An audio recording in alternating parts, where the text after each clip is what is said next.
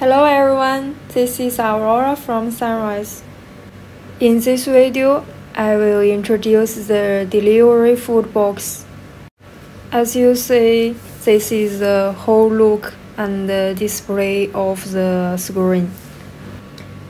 And this is a customizable product that includes the size of the screen, the size of the box, and the, the color. The internal structure contains the receiving card, power supply, and the various cables.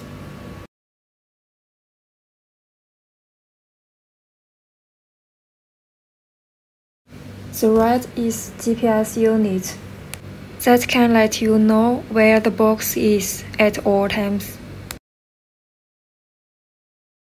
And the interior is equipped with a thermal insulation layer, which can't only keep the food warm but also protects the internal structure.